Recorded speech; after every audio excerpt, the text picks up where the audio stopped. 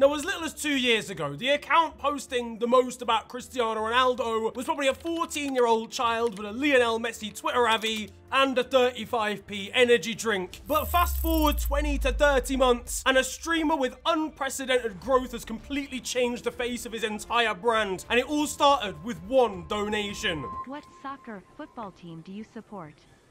Cristiano Ronaldo, Suey. The rise of ISO IShowSpeed has been quick, it's been controversial, and at times it's just been bizarre. But how did a relatively unknown streamer manage to change the online face of one of the biggest athletes in world history and become one of the biggest faces in modern football? Now, I'm going to assume at this point you all know who IShowSpeed actually is, whether it be through clips of him raging on TikTok during streams, whether it be him playing terribly at charity football matches, or whether it just be him throwing his batty about. IShowSpeed has transformed the face of live streaming alongside the likes of Kai Cenat in America, but not only that, has had one of the weirdest transitions into Becoming a football influencer is strange because two to two and a half years ago, you wouldn't have been able to imagine anything further from the truth. In fact, you wouldn't have imagined anything because you probably didn't know who IShowSpeed was. With his channel registered all the way back in 2016 to 2017, he was posting gaming clips on his YouTube channel and streaming to about on average two viewers. This was a kid who liked basketball, who liked NBA, and just wanted to post or stream to his friends or whatever audience that he could manage to achieve, like we all did in the start. Hey there guys, this is Niran here of Flying Nirangatang as you can see from the title of our channel. but probably with a better microphone than me. This big break would come in 2021 when people started sharing loads of clips of him raging on TikTok. And I, he wasn't just raging, guys. You know, this wasn't just a, a controller through the desk every now and again. It was getting wild. He'd do mental stuff like destroy his entire setup and get banned like most weeks. But it wasn't that that gave him his big break in the football community. That was through one key donation. Cristiano Ronaldo. And bang, just like that, at the click of a finger, annihilating a pronunciation so badly it wouldn't even stand up in a court of law. Not the only court of law that Ronaldo would have been in. But something new had started, an obsession with football and Cristiano Ronaldo. A sport that he knew absolutely nothing about but would go on a grand chase and journey, just trying to meet his idol, his new hero. An interest in football was starting to blossom mostly fueled through people knowing that he had no idea how to play football and that he was probably going to continue to pronounce people's names wrong, but an interest would start nonetheless. He almost converted to the dark side after watching clips of Lionel Messi. Nah, no, I'm, I'm tripping. A few months in, he found out what a Tottenham was. Toe in him, Mr. Toe in him. And that truthfully, the clubs and the, the entirety of Ligue 1 just basically isn't real. Martielli, Lyon, Clermont Foot, Toulouse, Brest. And in that respect, he might be onto something. At this point, he's starting to garner global attention. He's racking through hundreds of thousands of subscribers in the space of 24 hours. He's going from 500,000 subscribers to a million within the space of like four days. Waking up after a sleep six hours later to arrive at a new milestone. The guy's blowing up from all angles. Pause. And eventually, it's not just him that's starting to take notice of the world of football. The world of football is starting to take notice of him. He's being invited to football clubs and the likes of West Ham, being given a special shirt by them if he goes and watches a game. He's invited to play in the 2022 Sidemen charity match, the biggest the YouTube group have done up to this point at Charlton Stadium, the Valley. This off the back of football clips showing that he's not very good at football. And in the build-up, he's starting to build a rivalry with KSI. And that would result in, just a minute into the game, a blow to KSI that a Chelsea supporting OnlyFans model could only dream of. Nicholas Jackson, calm down in the back. Can see you, by the way. Let's chill out. A horrible challenge, probably a sprained ankle in the process. And the fact that he's been taken down by his bitter rivals so early on in the game, a real punch to the stomach for JJ. Or more of an elbow, in his case. As I said, a shocking challenge, but a funny moment. And a, one of a number that Speed would provide during the course of this game. A diving header that makes him look like the equipment used at the Olympics in track and field, step overs using the pelvis of a 73 year old man, and a brilliant finish, a sensational goal in front of tens of thousands of fans. Except it was offside by we're talking like seven yards. But it was an incredible moment nonetheless, one that ended with him whipping referee Mark Clattenburg straight after. It was clip content, things that were going to go viral in a matter of seconds, something that Speed had proven he was already so good at up to this point in his, you know, streaming career. After this, the obsession with Ronaldo would start to grow. He had a taste for actually playing football, not a taste for Ronaldo, but his arm would have a taste of Ronaldo as he got a new tattoo to commemorate the idol that he looked up to. And with Ronaldo still at Manchester United at this point, point, his teammate, Jesse Lingard, would confirm that he did actually know who IShowSpeed was. But he actually knows me. He actually knows me.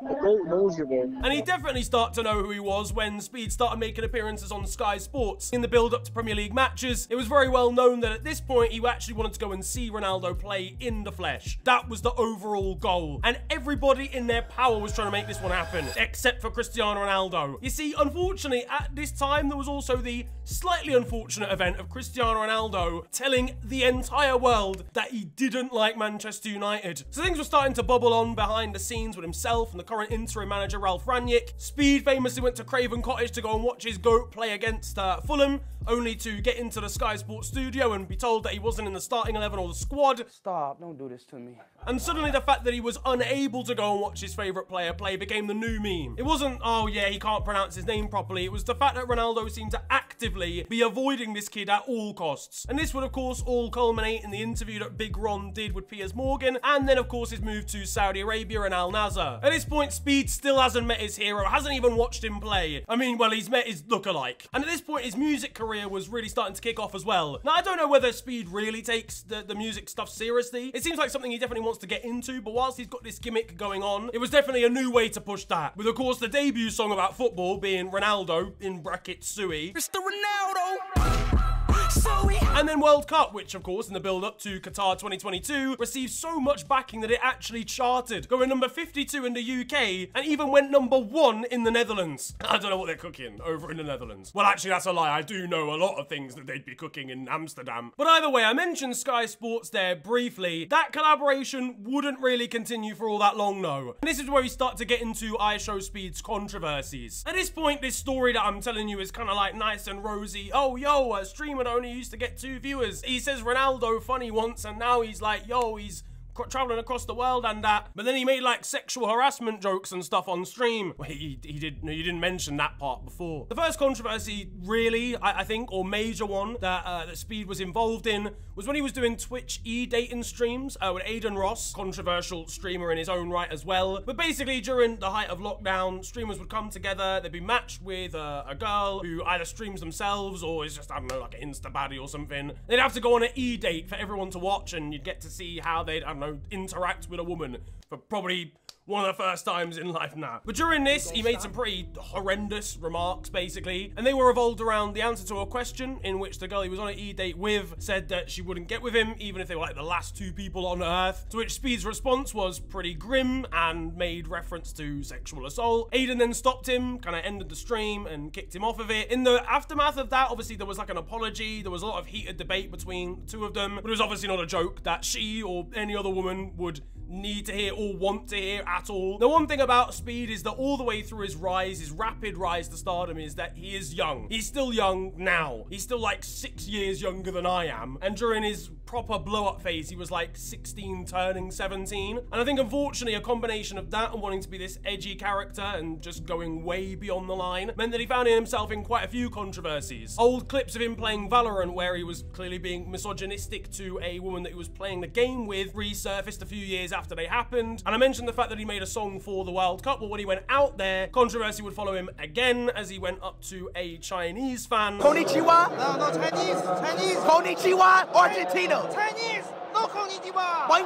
Just not okay, really, and unfortunately, kind of trying to tap into a young audience that might understand the harmful stereotypes and tropes behind things like that, but being edgy and trying to push the lines until realizing that an actual grown audience knows that you can't be doing things like that. And that's, of course, why ties were then severed between himself and Sky Sports, and we didn't see him on the channel again. It wouldn't stop him trying to pursue Cristiano Ronaldo, though, throughout the rest of 2022. With Big Ron heading over to Al Nassr to try and start up the Saudi Arabian project, Speed would head out there and follow him and finally get to see him play, as well as seeing Ronaldo score his first goal in front of him in the stadium. But he'd still, still not met him up to this point. That would all change after Portugal's game versus Bosnia. This was a massive moment, kind of in streaming and general content creation history. A kid who had gone from not knowing a single thing about football but just saying Cristiano Ronaldo's name slightly funny during a Twitch donation, had now met his idol, Cristiano Ronaldo, one of the biggest athletes in the history of sport, Oh my god.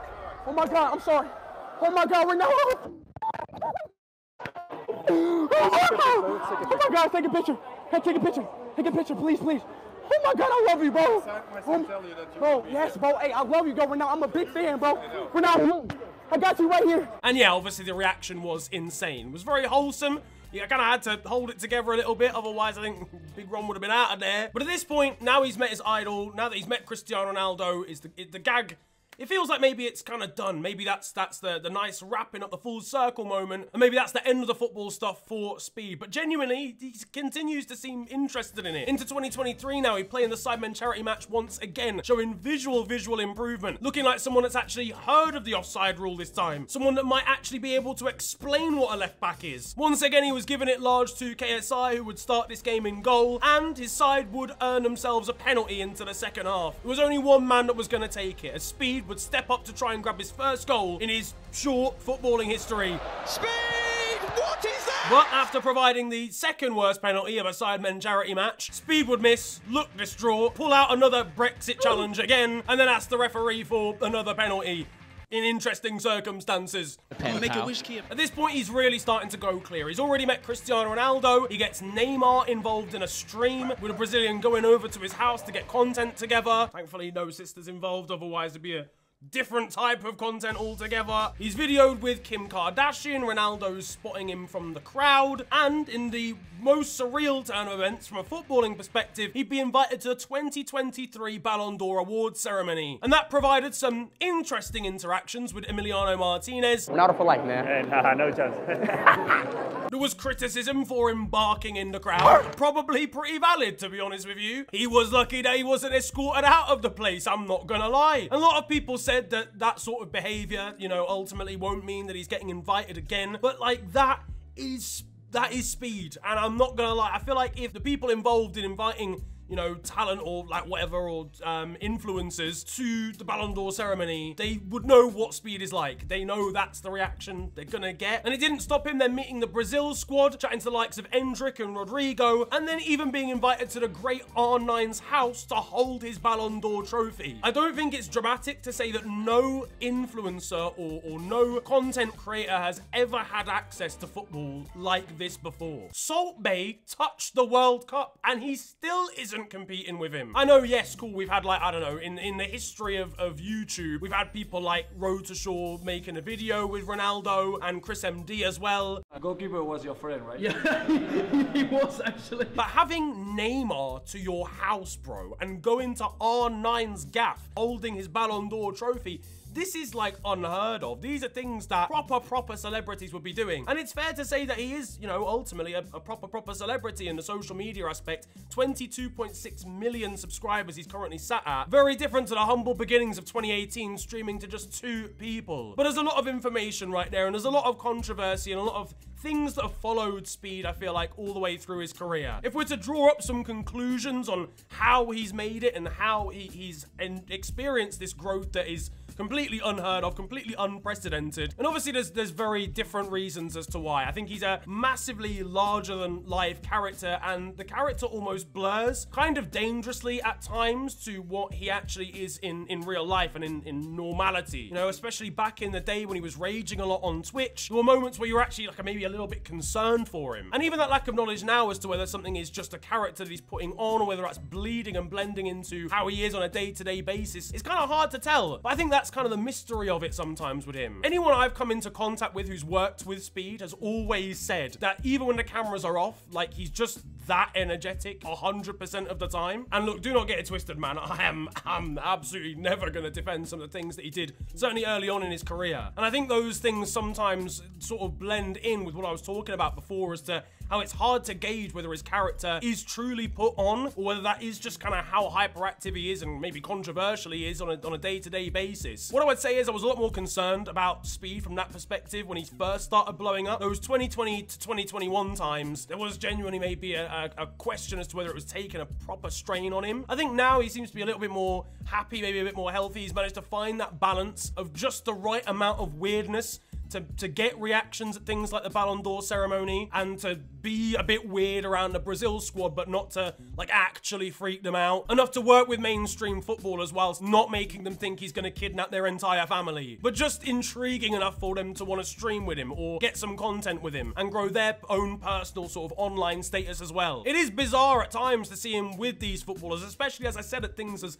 classy as the Ballon d'Or awards ceremony. The question is, will we see him at things like this again? I mean, it, really, I think it's more of a reflection on what these ceremonies are like and whether they are truly in touch with the youth. Did they know what IShowSpeed was like beforehand? I said earlier they probably should have done, but in retrospect, would I bet my house on them knowing or having ever watched the stream? Probably not. That decision might have been made by a 57-year-old white individual with an AOL account and dial-up internet who said, what the kids like? What, IShowSpeed? Safe. Let's have him barking next to Khvicha Kvaratskhelia's uncle. But they do love him. You know, not just the, the internet youth, but the footballing youth as well. Go on Speed's Insta comments, bro. It is literally all young footballers. The whole first half of like the blue tick brigade is Endrick, Rodrygo, Rafael. Footballers that are going to have a serious impact on the next generation of sport as a whole, who are just like G's with him. He's absolutely not the perfect individual whatsoever and does need to, I think, still take some time away to reflect on the things that he does. It is hard when you're young and in the public eye and you're live streaming. There's, there's no chance at making a mistake, but he's made some pretty big mistakes and hopefully he has learnt from them moving forward. Because if he is going to be the face of the connection between the footballing world and the youth online world, and he's going to have to do a bit of a better job than he was doing between 2018 and 2022. What do you make of IShowSpeed, man? Is it all a character? Is that what he's like just 24-7? Do you watch his content and what's next for this mental come-up footballing YouTube streaming story? If you enjoyed this though, then feel free to slap a like on the video, subscribe if you are new. If you want to see more content like this, like sort of mini documentaries about other YouTubers or the football scene as a general, then let me know down in the comment section below. Experimenting with a lot more different styles of content this year, and hopefully you guys enjoy them all. But just let me know down there. It's been a pleasure ranting at you guys though today. Have a wonderful day, enjoy yourselves, and goodbye.